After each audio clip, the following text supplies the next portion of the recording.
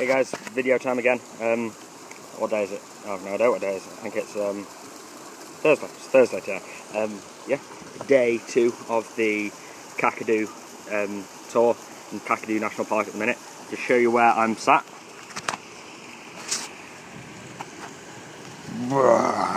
Look at that. Look at that beauty.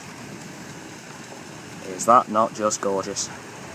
Sat at the very top of a waterfall at the minute. It's not much of a waterfall right now because of uh, it being dry season.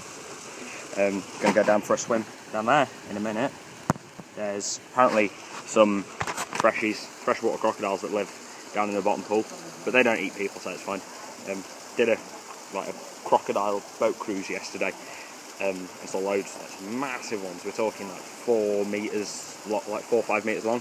Um, also saw a lesbian water buffalo, like an albino lesbian water buffalo called Anna, that was going to town on another buffalo. It was very odd. Not what you want to see at nine in the morning.